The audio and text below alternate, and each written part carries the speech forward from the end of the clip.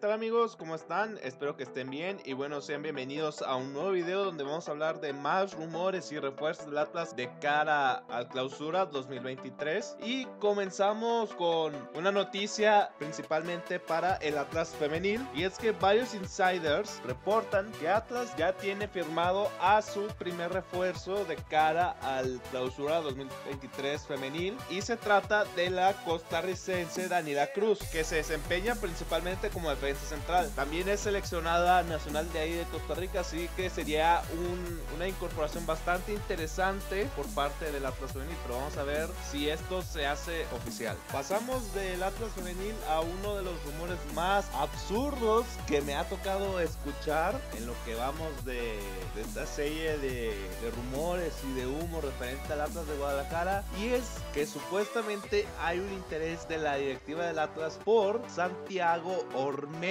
A ver, se supone que ciertos rumores dicen que Atlas tiene un interés por el peruano más mexicano, que es Santiago Ormeño. La verdad, no sería una muy buena idea traer a Santiago Ormeño. Primero, porque ya no es un jugador joven. Creo que Orlegui siempre va a buscar jugadores jóvenes que tengan futuro para poder hacerlo crecer ya sea en Atlas o Santos, para posteriormente venderlo a un muy buen precio. Y la verdad, Ormeño está muy lejos de ser el Ormeño del Puebla. Que ahí sí, Ormeño sí era mucho mejor jugador porque tenía detrás a Omar Fernández, pero una cosa no cambia la otra. Así que no, Ormeño no va a llegar y la verdad se ve muy poco probable y no le podría aportar en gran medida a los rojinegros de la. Luego de que el Tata Martino haya aplicado un Miguel Ángel Brindis ante la selección de Argentina, las posibilidades de la selección mexicana para avanzar a octavos de final están casi casi resueltas. Están preguntando qué es lo que tiene que hacer la selección para avanzar a octavos de final. La respuesta es bastante simple. México tiene que derrotar a Arabia Saudita y esperar cualquiera que sea el resultado entre Polonia contra Argentina. Pero no le conviene el empate entre estos dos. El empate los deja prácticamente eliminados. A menos de que para calificar ya de forma directa, sin depender del resultado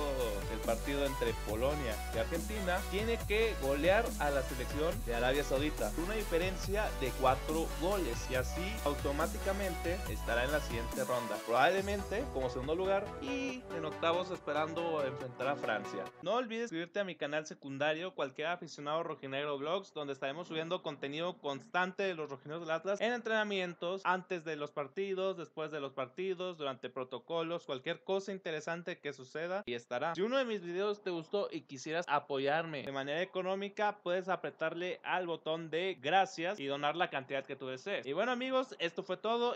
Que el video les haya gustado. Si es así, denle un like, compártanlo con sus amigos. No olviden suscribirse. Síganme en mis redes sociales, tanto Twitter como Instagram. Se las voy a dejar aquí abajito en la descripción. Nos vemos en un próximo video. Y recuerden que mil veces arriba el Atlas.